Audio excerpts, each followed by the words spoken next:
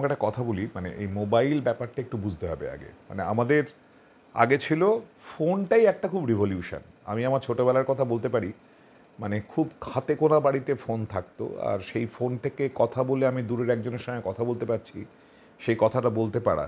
তারপর সেই ফোনটা আস্তে আস্তে আস্তে আস্তে সব ঘরে ঘরে ছড়িয়ে পড়ল ল্যান্ডলাইন তখন ওটার মধ্যে আর কোনো আশ্চর্যের কিছু নেই।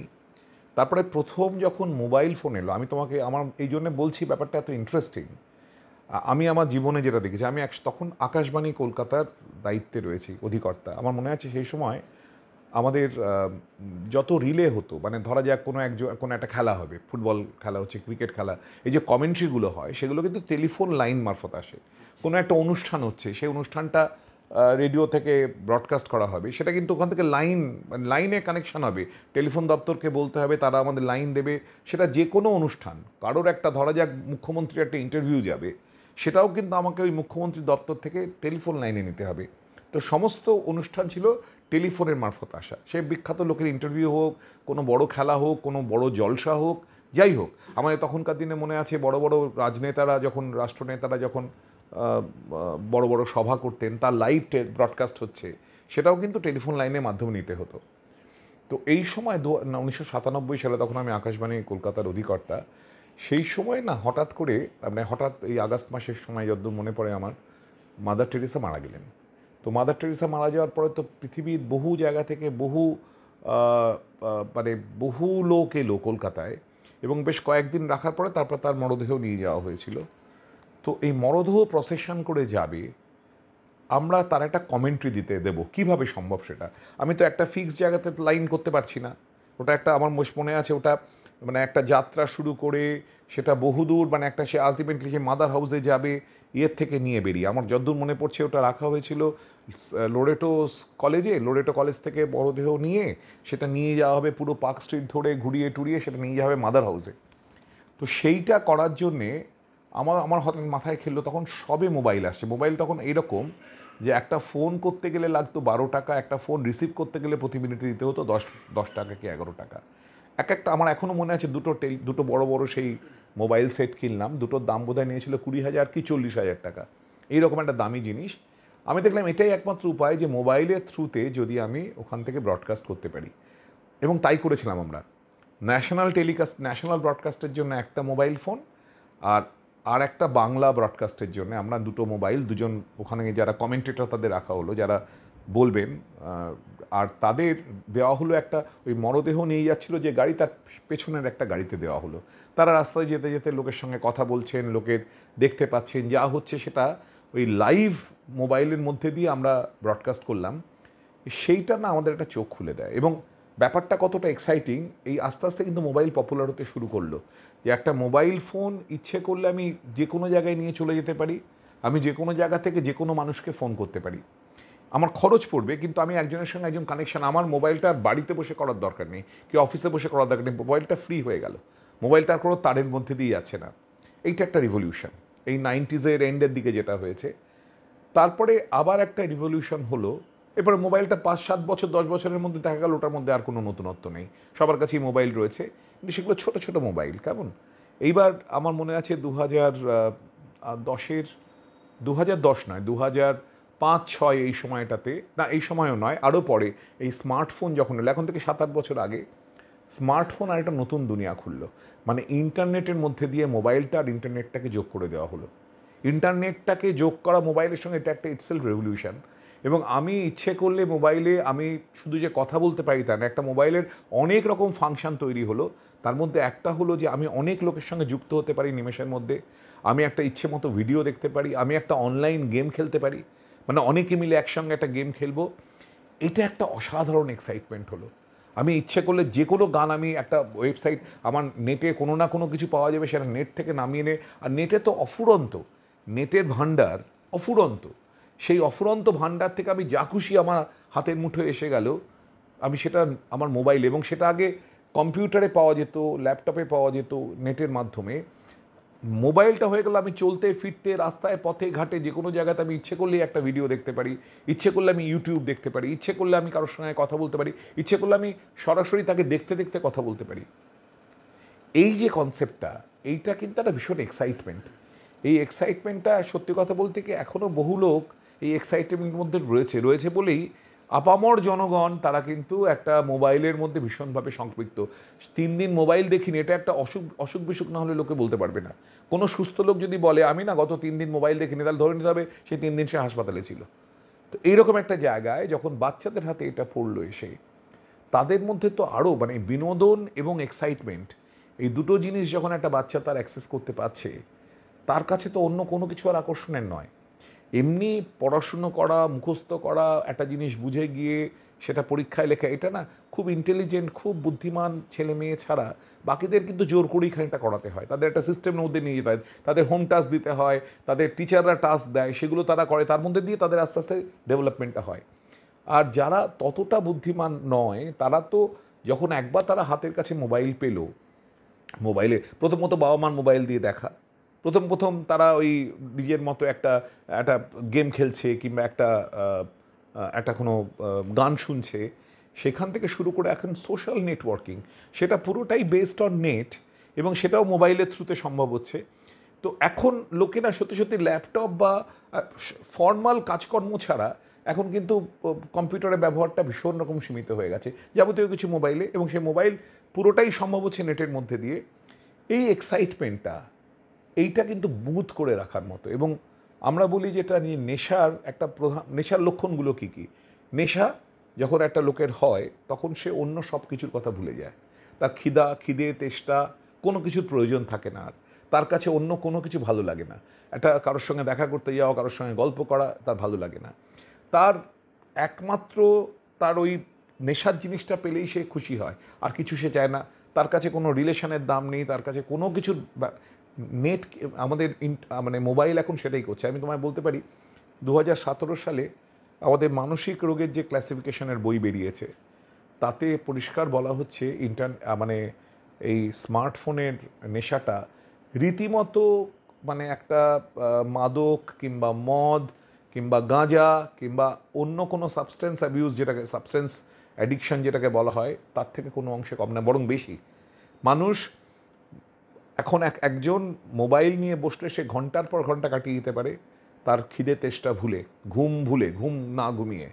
তার নেশার আর একটা ব্যাপার হচ্ছে যে আমার আগে অল্প, আমার আগে এক এক পেগ মদ খেলে নেশা হতো, তারপর আস্তে আস্তে দেখা গেলো যে এই নেশা বাড়তে শুরু করল, তখন দু পেগ লাগে, চার পেগ লাগে, ছ পেগ লাগে, নেশার ধরনটাই। যে আগে অল্পতে যেটা কাজ হতো, এখন সেই একই নেশা করতে গেলে আমাকে একটু বেশি খেতে হয়। মোবাইলও তাই। প্রথমে হয়তো আধ ঘণ্টা এক ঘণ্টা করলেই মন ভরে যেত।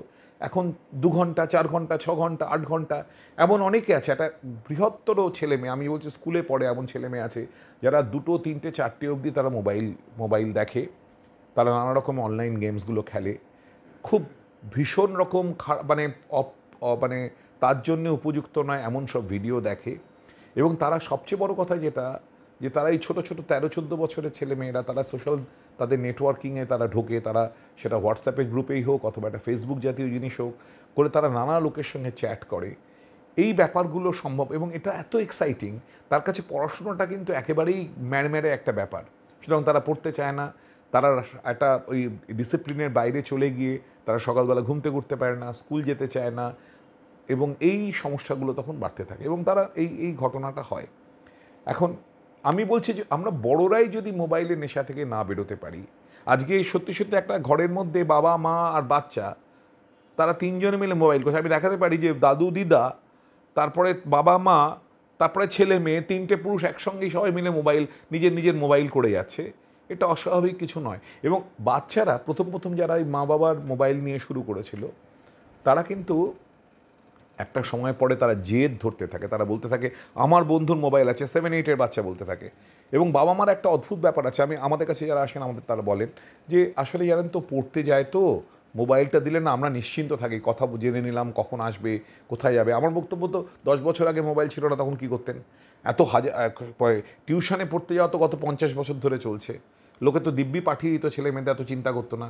আমাদের প্রতি মুহূর্তে একটা লোকের উপর খবরদারি করার জন্য মোবাইল দেওয়া তো কোনো দরকার নেই। এইটা হচ্ছে যুক্তি, কিন্তু এই বাচ্চারা যখন নিজেদের মোবাইলটা, তখন আর বাবা মার মোবাইলে মন ভরে না। বাবা কখন অফিস থেকে আসবে, তারপরে এই মোবাইলটা পাবো। তার জন্য আমাকে আমার মোবাইল দিতে হবে। এই জায়গায় যখন জেদ করতে শুরু করে, এবং এদের সবসময় হয় যে অমুকের আছে, আমি পাবো না কেন? এবং বাবা মারা যখন ছেলে মেয়েদের কম্পেয়ার করেন, ও অত নম্বর পাচ্ছে, তুই পাচ্ছিস না কেন? ছেলে মেয়েরাও সে একই ফর্মুলাতে বাবা মাকে বলে, ওর আছে, আমাকে তুমি দেবে না কেন? ও কি খারাপ? ওর বাবা মা কি খারাপ? এই জায়গাটা থেকে শুরু হয়, এবং সবাই করছে বলে সবাই করে। এবং সেই মোবাইলটা তখন আস্তে আস্তে আমি তো এখন মনে হয় মানে টেনের টেন পাশ করেনি। এমন ছেলে মেয়ে, তাদের নিজস্ব মোবাইল, এরাই বোধহয় সংখ্যায় বেশি। এবং সেই মোবাইলের উপর, মোবাইল মানেই আমার সারাক্ষণ মনটা মোবাইলে পড়ে থাকা। পড়তে বসে আমি আমার বহু ছেলে মেয়ে জানি, যারা পড়তে বসে সামনে মোবাইল রাখে। টিং করে আওয়াজ হলো একটা কোনো মেসেজ এলো, সঙ্গে সঙ্গে মোবাইলটা নিয়ে দেখতে শুরু করে। পড়াশোনার জায়গাটা ক্রমশ পিছু হটে কেমন? হয়তো শুধুমাত্র যখন সে টিউশনে যায় কিংবা যখন সে স্কুলে থাকে, সেই সময়টা মোবাইল ব্যবহার করতে পারছে না। বাকি সব সময় তার মোবাইল চাই। আমাকে অনেকে বলেছে, স্কুলে পড়ে। বলল, জানেন তো, বাথরুমে পর্যন্ত মোবাইল নিয়ে যায়। এক ঘণ্টা বাথরুমে বসে আছে। বেরোচ্ছে না। সে ওখানে বসে মোবাইল করছে, ওইটুকু ছেলে। তো আমার বক্তব্য, এইটা একটা নেশা, এটাকে প্রথম আমাদের বুঝতে হবে। এবং নেশাটা প্রথমে বাবা মারাই ধরান, সেটা তাদের বন্ধ করতে হবে। এবং নেশা বন্ধ করতে গেলে বাড়িতে আমি সোজা কথা বলি, আমার ছেলে যদি দেখি মদের নেশা করছে, তাহলে বাবা মাকেও মদের নেশাটা বন্ধ করতে হবে। বাবা মদ খাচ্ছেন রোজ আর এক্সপেক্ট করছেন ছেলে তার মদ খাবে না, এটা তো হতে পারে না। বা বাবা যিনি স্মোক করছেন, তিনি প্রচুর সিগারেট খাচ্ছেন, অবধারিত যে তার ছেলেটি তার বাবা সিগারেটের প্যাকেট থেকে সিগারেট নিয়ে প্রথম সিগারেট খাওয়াটা শুরু করবে। তো আমি বলি, যদি সত্যি সত্যি ছেলে মেয়েদের মোবাইল নেশা থেকে বার করতে হয়, এটা কিন্তু সত্যি সত্যি সর্বনাশা। আমি আমি এটুকু বলতে পারি, আজকে এটা একটা প্রধান কারণ ছেলে মেয়েদের পড়াশোনায় খারাপ রেজাল্ট করার জন্যে। আমি যথেষ্ট মেধাবী, বুদ্ধিমান ছেলে মেয়েদের দেখেছি। তাদের, তারা একদম তলিয়ে যাচ্ছে জাস্ট বিকজ তারা ওই অ্যাডিকশান থেকে বেরোতে পারে না। তাদের যে কোনোভাবেই হোক দু ঘণ্টা পাবজি খেলতে হবে। এই যে জায়গাটা মানে তার প্রায়োরিটি জায়গাটা ওইখানে। কালকে আমার অঙ্ক পরীক্ষা আছে তো কী হয়েছে? আমি, আজকে আমাকে দু ঘণ্টা খেলতেই হবে পাবজি। এই যা, এবং এটা মাথায় রাখতে হবে যে, বড় বড় মাল্টি ন্যাশনাল কোম্পানি তারা এই গেমগুলো ডেভেলপ করছে এবং তারা এমন কায়দা করছে যে, লোকে বাধ্য হবে, কারণ যত তারা নেশার মধ্যে যাবে, তত মোবাইল বিক্রি হবে, তত আমি নেটের ব্যবসা চালাতে পারব, তত আমি বিজ্ঞাপন দিতে পারব, এগুলো তো একটা ব্যবসা। আজকে সেই জায়গাটা থেকে তারা কিন্তু অ্যালিওর করবে, নতুন নতুন পন্থা বার করবে ছেলে মেয়েদের আকৃষ্ট করার জন্যে। আমি শুধু বলছি প্রথম বিষ পাত মানে বিষের পাত্রটা বাবা মা যদি ছেলে মেয়েকে তুলে না দেন এবং একটা যদি স্ট্যান্ডার্ড রুল করে নেন যে ছেলে মেয়ে যতক্ষণ অ্যাডাল্ট না হচ্ছে, অর্থাৎ হাই স্কুল না পেরোচ্ছে, বারো ক্লাস পাস না করছে, তার নিজস্ব কোনো মোবাইল থাকবে না। এখন যেটা একটা স্ট্যান্ডার্ড ব্যাপার, সেটা হচ্ছে আমাকে না হোয়াটসঅ্যাপে জানাবে কি পড়া আছে, কবে ক্লাস আছে। আমার কথা এটা টিচারদের একটু ভাবা দরকার। লেসেনগুলো তারা ক্লাসে ওই টিউ টিউশনে না দিয়ে, না বুঝিয়ে তারা সব হোয়াটসঅ্যাপে তাদের নোটগুলো পাঠান। তাতে সুবিধা হয়। নো ওইটার পর আগে যেটা, দেখুন অধিকাংশ আমরা বুঝি যেটা মাস্টারমশাইরা তো নোট দেন। ছেলেমেয়েরা নোটের জন্যই মাস্টারমার কাছে প্রায় প্রাইমারিলি যায়। এবং সেই স্কুলের নোটটা পায় না, তার জন্য টিউশনে পড়তে যায়। সেই নোটটা এতদিন তারা কষ্ট করে একটু বলতেন মুখে, হয়তো একটু বোঝাতেন, হয়তো একটু বোর্ডে লিখে দিতেন, এখন সেটাও করতে তারা রাজি নন। তারা নোটটা সরাসরি হোয়াটসঅ্যাপে দিয়ে দিচ্ছেন। হোয়াটস ওটা তার কাছে একটা ডিজিটাল কপি আছে, একটা সফট কপি আছে। এবং হোয়াটসঅ্যাপে এটা কিন্তু একটা বড় জায়গা যে আমি হোয়াটসঅ্যাপ যদি, আমার যদি মোবাইল না থাকে তাহলে আমি আমার প্রজেক্টগুলো পাবো না, আমি কবে পরীক্ষা জানতে পারব না, আমার নোটসগুলো পাবো না, আমার মোবাইল লাগবেই।